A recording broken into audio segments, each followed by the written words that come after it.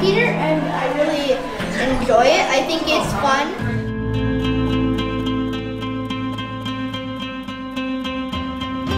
So the kids are having a lot of fun. Bridget did an awesome job with all the projects and everybody loves everything that's going on here. So yeah, it's been a success.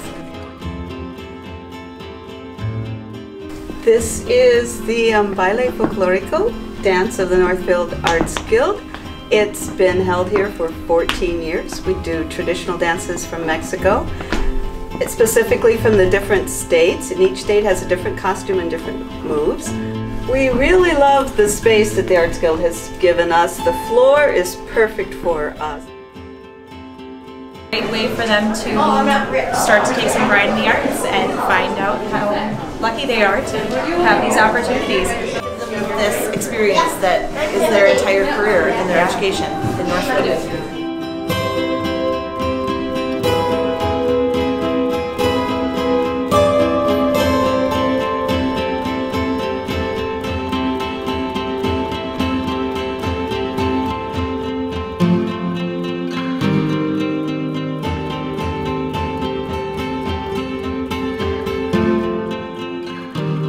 Showing the work here at the Northfield Arts Guild uh, is quite a pleasure um, to be able to have my capstone for my grant uh, um, concluded here in this space and I was able to choose this space to isolate the work. And work, first of all working with the, the guild has been great. Uh, you know Heather has been unbelievably supportive.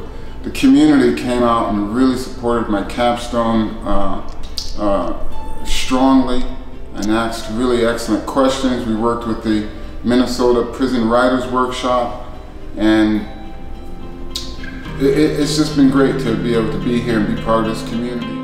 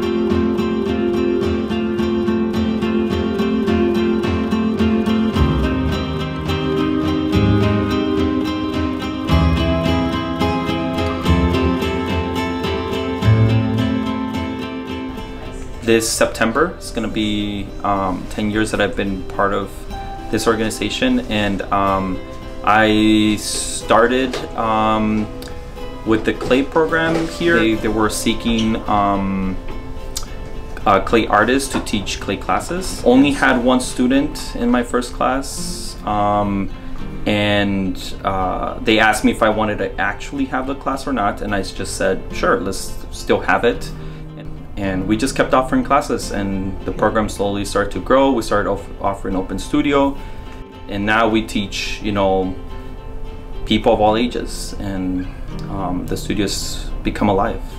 So